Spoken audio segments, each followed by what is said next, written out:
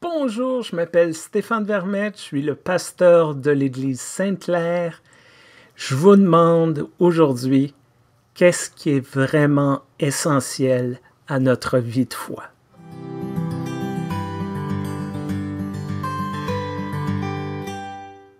Au début des années 2000, je siégeais sur l'exécutif national de l'Église unie du Canada. À cette époque, la principale préoccupation était les répercussions de notre participation en tant qu'institution dans le système de pensionnat autochtone à travers le Canada.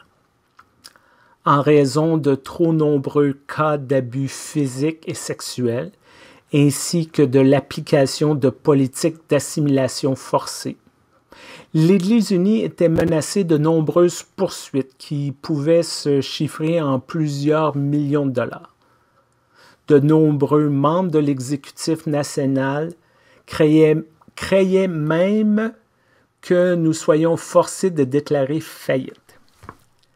Après quelques conversations très difficiles lors d'une réunion, un homme dont j'ai malheureusement oublié le nom a déclaré quelque chose qui m'a profondément marqué. Il a dit en anglais A bottle of wine, a loaf of bread, and we're back in business.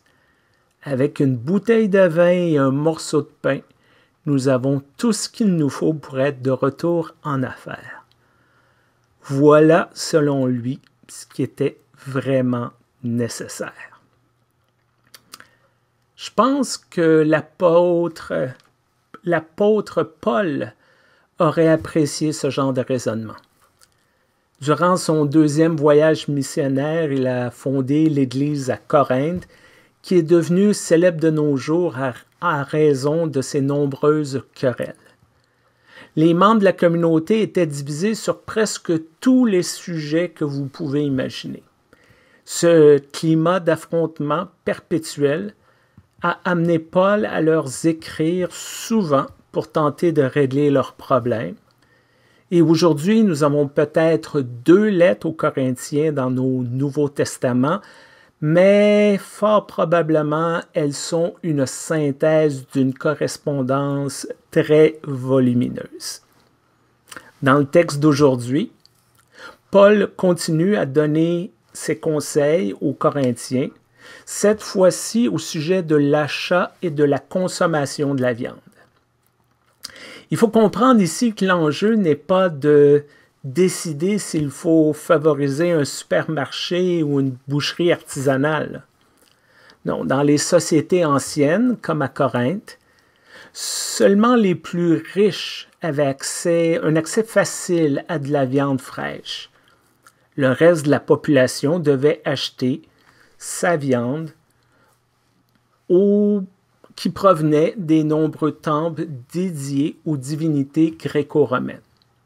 Et le système fonctionnait un peu ainsi. Les personnes apportaient des animaux à sacrifier à leurs dieux. Et une fois l'offrande terminée, bon, les prêtres se gardaient une bonne portion et vendaient le reste de la viande au marché pour financer les activités du temple. Ainsi, tout le monde pouvait y trouver son compte. Le problème était que certains membres de la communauté de Corinthe avaient des scrupules à manger de cette viande associée à des rites et des dieux païens. Ils avaient peur de, tromper Dieu ou de succomber à la tentation de retomber dans leurs vieilles croyances.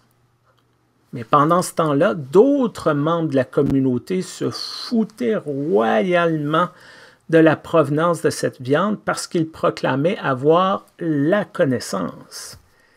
Ils considéraient que leur compréhension supérieure de la foi et de Dieu leur donnait le droit de juger et même ridiculiser ceux et celles qui exprimaient des hésitations. La réponse de Paul aux Corinthiens est empreinte de pragmatisme. L'apôtre sait très bien que Corinthe était une grande ville cosmopolite. Il était normal d'y retrouver plusieurs dieux, euh, temples et dévotions.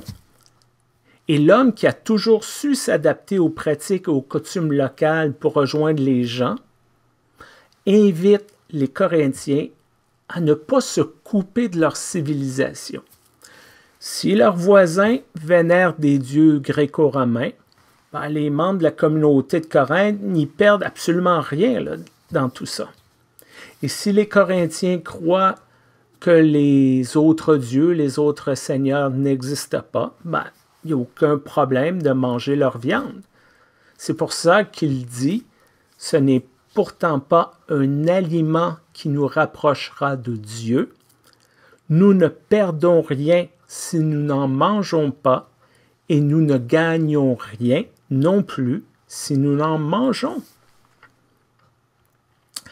Ce débat sur la consommation de viande peut nous sembler complètement dépassé aujourd'hui, à l'exception peut-être des réflexions sur son empreinte carbone.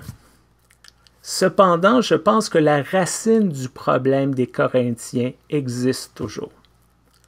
Nous sommes toujours divisés entre différentes églises chrétiennes, entre croyants du même Dieu, entre croyants et athées. Et trop souvent, nous regardons de haut les gens qui ne partagent pas notre foi et nos valeurs. Nous méprisons les rites et les pratiques religieuses des autres nous ridiculisons ceux et celles qui mélangent des concepts comme réincarnation et résurrection, par exemple. Notre conviction d'avoir la connaissance, d'être mieux équipé au niveau de la foi, nous amène trop souvent à vouloir imposer notre vérité à ces gens que nous trouvons euh, peut-être un peu trop stupides à notre goût. Mais toutes les connaissances euh, théologiques, connaissances de la Bible, connaissances des traditions chrétiennes, ne devraient pas être une fin en soi, mais seulement le début de nos cheminements de foi. Toutes nos églises, nos institutions et nos pratiques religieuses ne sont en fait que des outils afin de mieux comprendre cette entité que nous appelons Dieu. Et notre but ne devrait être jamais de rechercher à cocher le plus de cases possible sur une longue liste, ni de rechercher une certaine forme de pureté religieuse. Nous sommes invités à incarner nos valeurs dans tout ce que l'on fait, tout simplement. Nous sommes encouragés à nous ouvrir à la différence et nous sommes appelés à avoir de la compassion envers ceux et celles qui doutent, qui expriment des difficultés ou qui se remettent en question afin d'être présents à leur côté sans les juger.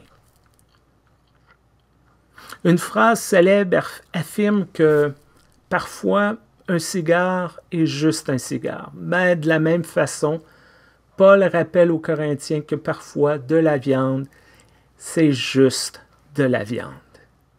Si un des membres de la communauté euh, succombe à l'arôme de bacon provenant du temple d'Apollon, eh bien, il ou elle n'est pas en état de perdition, sa foi n'est pas moins forte et il n'y a pas aucune raison de le ou de la ridiculiser. Et 2000 ans plus tard, nous sommes toujours invités à accorder peut-être un peu moins d'importance à tous les dogmes, rituels, confessions de foi et institutions que nous avons construits, afin de nous concentrer un peu plus ce qui est vraiment essentiel et important pour notre foi. C'est une vérité toute simple, mais qui peut nous nourrir bien plus de tout ce qu'on pourra jamais acheter au marché. Encore une fois, merci d'être là. Que vous écoutiez sur YouTube ou Facebook, n'oubliez pas de cliquer, d'aimer, de partager et de vous abonner, plus particulièrement à notre infolette. Le lien est en haut ou en bas de cette capsule.